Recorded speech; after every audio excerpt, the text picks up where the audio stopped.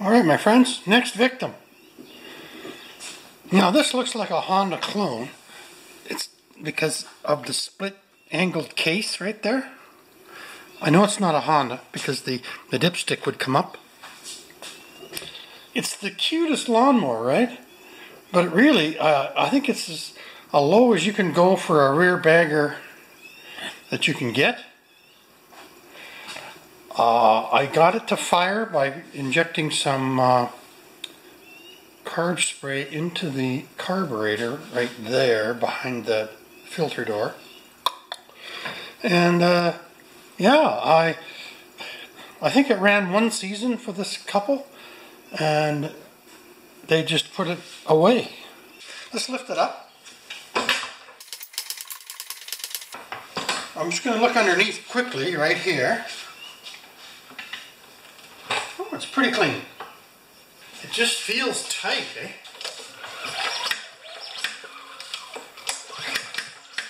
You hear that clickety clunk clunk?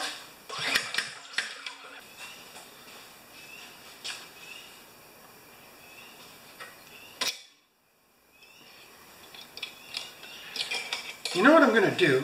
I don't usually do this as much as I used to. Take a spark plug out and put a little bit of two-stroke fuel right into the cylinder. Because I had a hard time getting it to draw. Oh, plug's just about loose. I've been seeing a lot of that this last little while, eh? You know, I don't think there's there's a season on that plug. Whoops, look at that. I'm just to squirt some go juice right into the right into the cylinder. It's kind of a chainsaw trick. And I've had trouble threading these Honda clones before.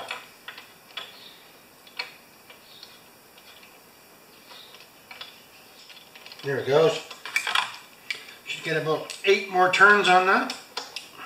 One, two, three, four, five, six, seven, eight, nine. That's good.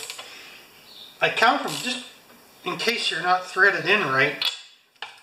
Okay, now this thing should fire.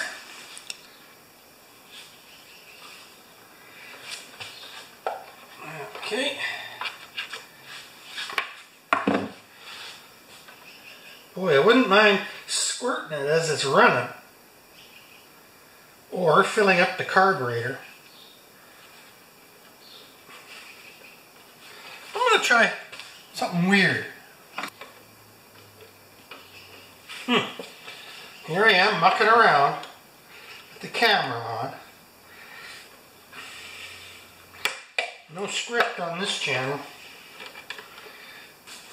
Back on the show. Unplug the gas Oh, it is unplugged and it's dripped out. Good.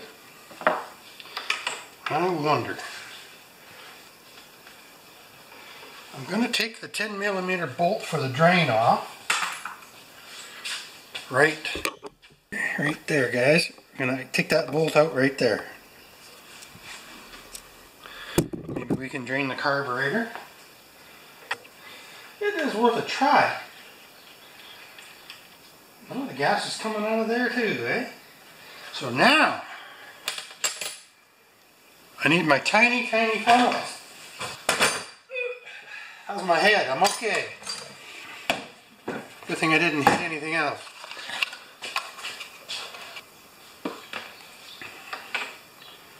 Oh yeah, we got her. I'm gonna put just a little bit of, uh, what do you call it? Two-stroke fuel down this down the carburetor, this goes right into the carburetor here now.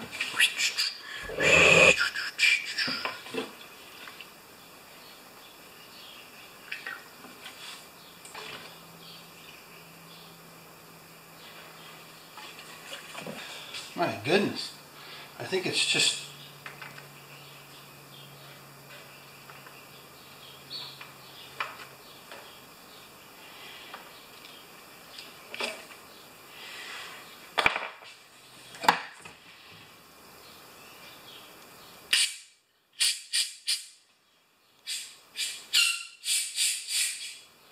Well, that proves that. That's, that's plugged. The needle and seat are plugged. Now let's just see if we can get it to fire. We know there's no more fuel in it, that's fine. We're taking the carburetor off. And we're going to clamp the bar down. Take a little bit of rag and clean up the rest of the spills.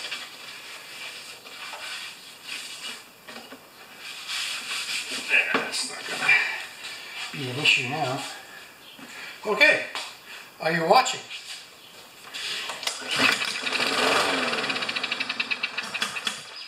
That's it.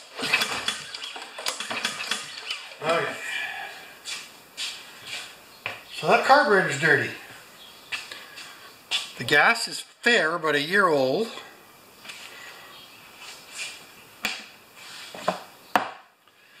But it does run.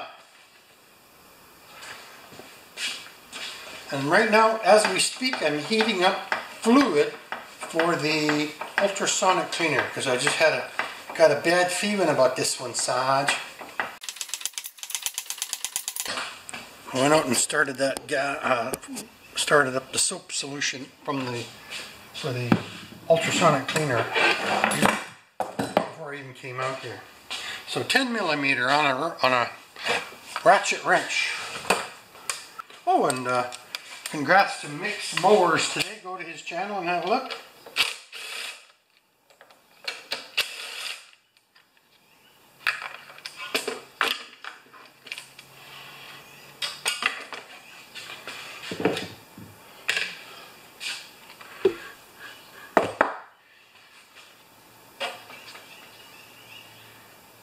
Oh, the throttle's completely, completely seized. Look at that, eh?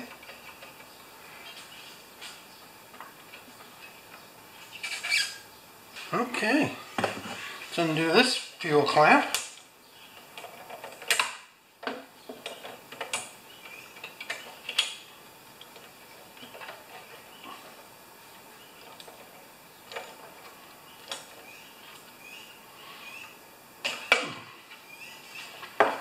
Alrighty, now I want to get this. This is so. The throttle is so corroded that it won't move, eh?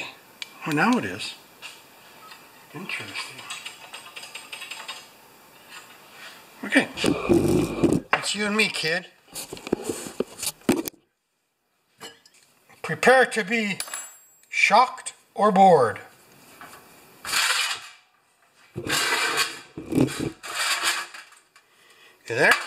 That's pretty good. Not that bad. The needle is stuck in the, in the seat. the air is, oh, I don't know if you guys can see that. That's a pretty cool shot.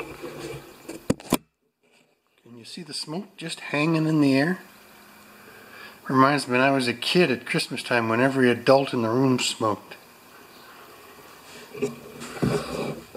Float and needle are, oh, now it's starting to move. It was just seized a little bit.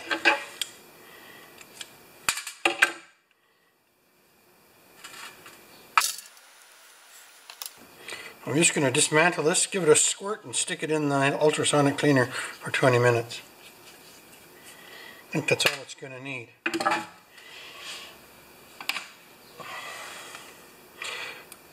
Idler circuit. That's just about it, man.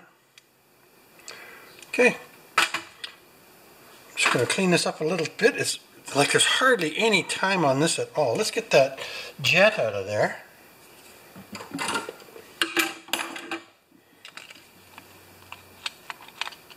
When the screwdriver jiggles in like that?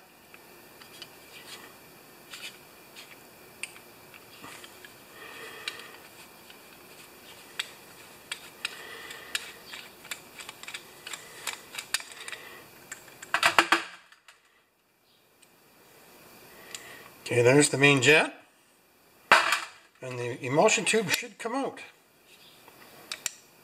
It's already coming out. There it is. Yay! It's totally clogged off and the jet is as well. I'm going to just put some air on that. It might have blown free. Nope. Okay. Five more minutes on this. I've been using this a lot more.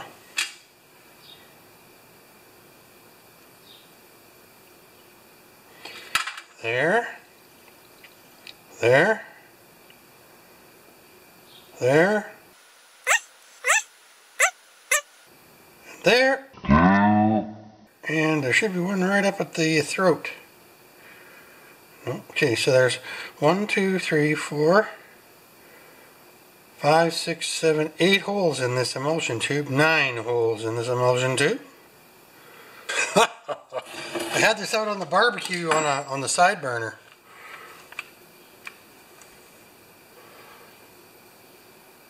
It says 81.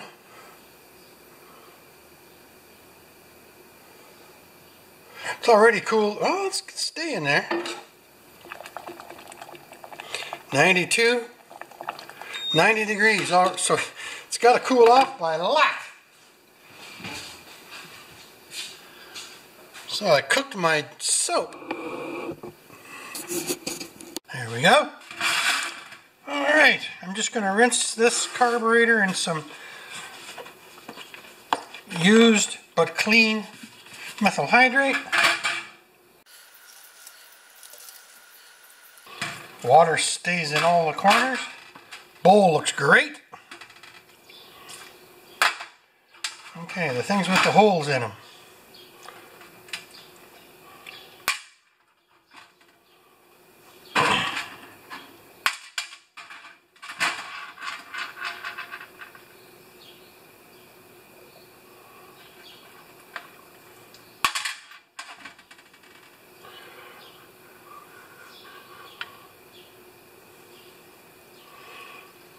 Okay, that's it for that. But I got more where that came from. Now, I'm going to just take this uh, jet and make it one half of a notch bigger than it is now. Okay, let's just see where we're at. Grab that guy. It's all a guess, eh? You guess, but there's no guess once you get there. Okay, so that one is too fat. That's amazing for a carburetor that big. Sorry guys, I'll come with you. I'll be there when I get there. Okay, this is my drill bit, very, very small. And it actually fit through there. I think I just ground out, all I did was take out some varnish out of there and maybe a tiny, tiny bit of the brass.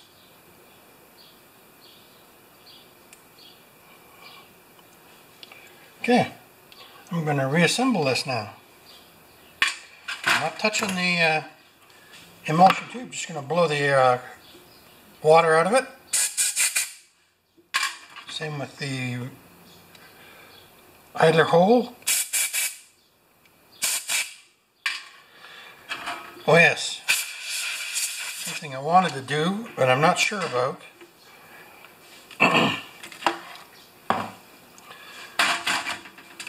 is just a little bit I can find one of these pipe, these ear, what do you call these things? Q-tips? And I'm just going to stick a little bit of carb cleaner on one of these guys. I'm going to go into the carburetor and clean this out just to see. Hard to say, yeah? But we can test it. Okay. I'll be back for one shake.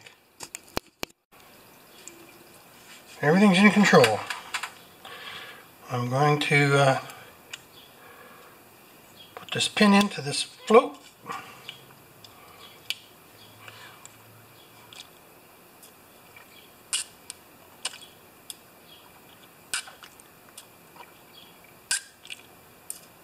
Okay, I'm going to just try and test that with my Mityvac Tester. And I always mention this. Ken Small Engines sent this to me. We nicknamed him Mr. Mow-It-All.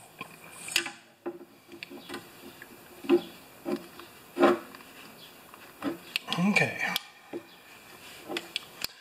You guys are looking at this upside down because I know it's too hard to do it any other way. I want seven pounds.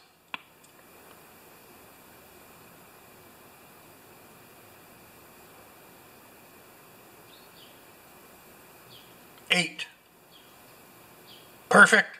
If it holds for 10 seconds, it'll hold for two minutes. Isn't that cool? Thanks one again. Thanks once again, Ken. Okay, we got the float in. Now we're going to insert the emulsion tube. The jet that we, we didn't ream it out, we cleaned it out. That's even better. Probably just a tiny bit better than new. Thousandths of an inch maybe. Screw it in, tighten it, loosen it, tighten it, loosen it, just because it's brass. The idler circuit, you just push in right there. Sorry, the, the mirror's backwards. There you go, right there. And then we take the idler screw, the idler screw or holder downer which is also known as the idle adjustment pin. There it is, it went in. Okay, three times the charm.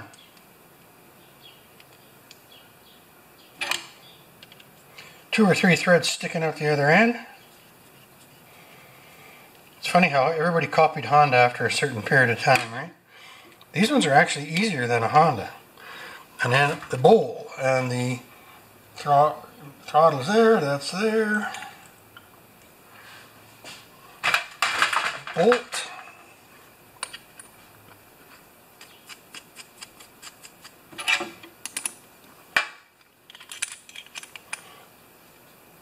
Hmm. We're going to bring that back a little bit. There we go.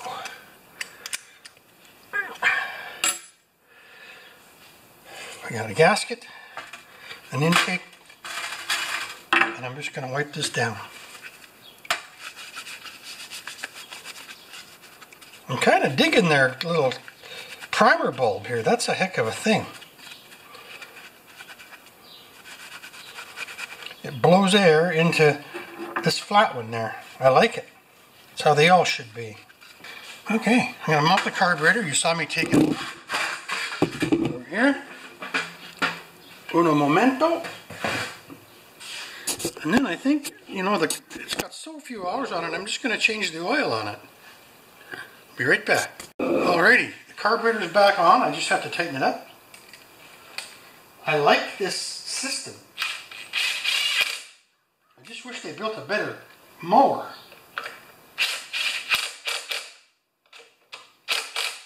Okay, gas line's hooked up. Gas line's hooked up. Carburetor's clean. I rinsed the tank by shaking it back and forth. I'm just going to put a little gasoline in there. It has almost a full thing of oil. So let's do it. The blade does not have to be sharpened. In fact, it hardly needs an oil change, but I'm going to do it. It's probably got the original oil in it, eh? One on top. One, two, three, four, five, six. Oh, it's quite a bit of fuel. Okay, half a tank. That's fair.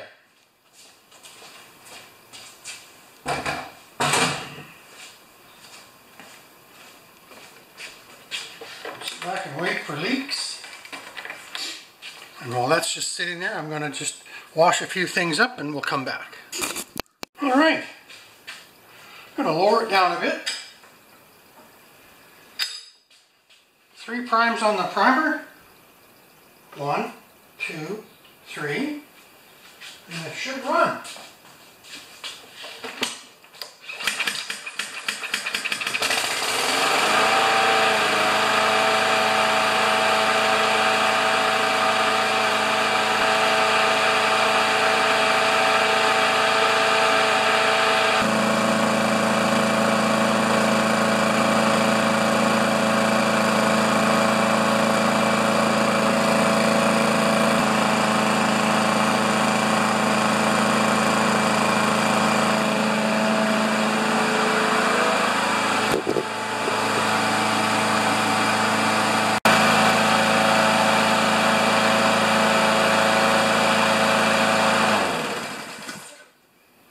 All right, so I set the RPMs at 3270.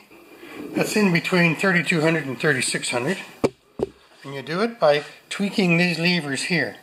Don't adjust the actual governor, this arm, just bend this one a little bit. Or you can even bend that tang even better right there. Do you see that one? yeah, that's the one you should bend. My bad. Bend that little tang there. It's meant to be bent. So now it's warmed up, running at 3,270 RPMs. I'm going to just change the oil on this bad boy. Oh, on the other side, excuse me, walk in front of the camera, bad boy. I'll never win an Academy Award like that. Now, should almost be able to see the oil there. Yes, we can.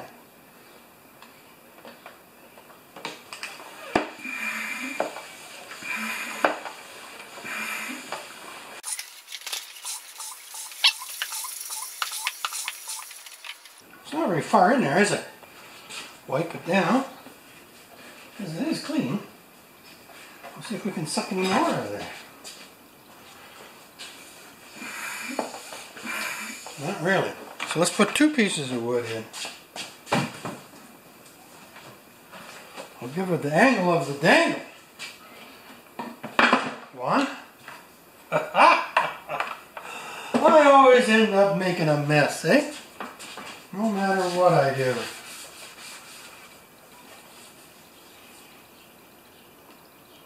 You think that'll help? Yep. Just a little. You know, I'm going to try the other tube. Just because I'm crazy. Is that the official term? If you were going to buy one of these? Oh, to say.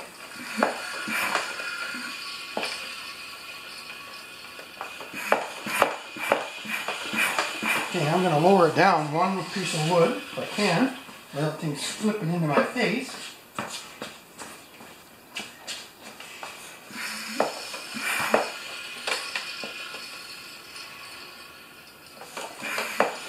I guess that's it. Perfect. Okay, now we're going to add a half a liter of oil.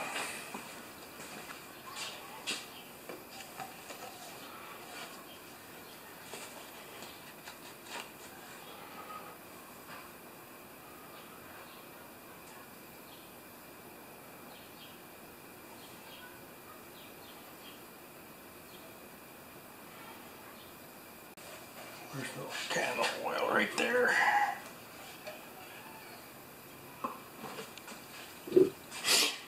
Now it says right here, the last one I did, the, the labels got washed off. But it says right here to not screw in the cap to check for oil. So you just lay it in there and pull it out and it's right at the full, 500 milliliters. Now some guys say 550, but I use 500 and I've always had luck with that. It's running tomorrow, the lady's name is Connie. We'll give her give her a call. I'm gonna just wipe it down with some fantastic. Thank you guys. Hello my friends. I've got a Powersmart mower here that's not so smart. But anyway, I'm going to just take the uh, valve cover off of this guy. Because I want to show you something. Okay, this is the exhaust valve right here. Now we're going to get right in there and we're going to zoom in on her.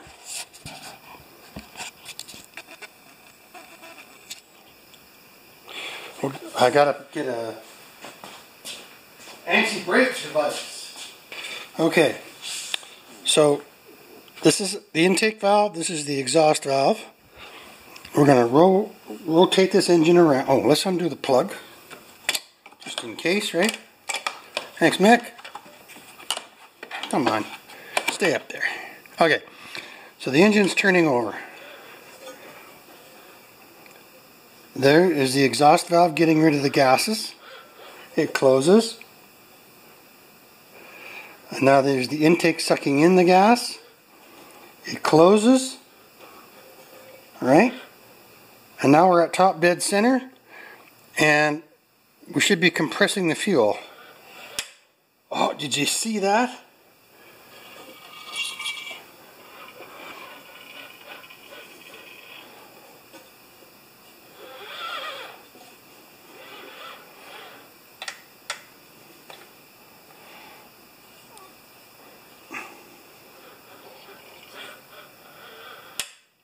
Right there.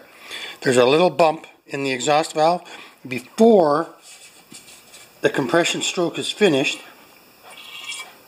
and then down goes the valve. There. And that little decompression I'll do it again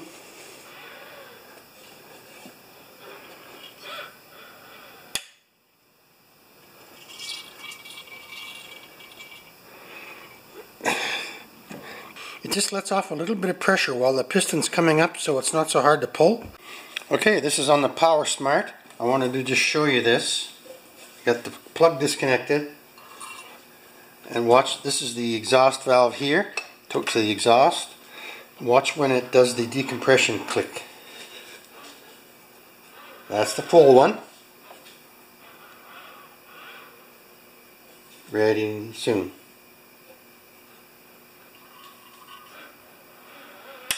Right there. Isn't that weird? So two problems. Carburetor leaks and I can't get a different one. And this decompression can't be right.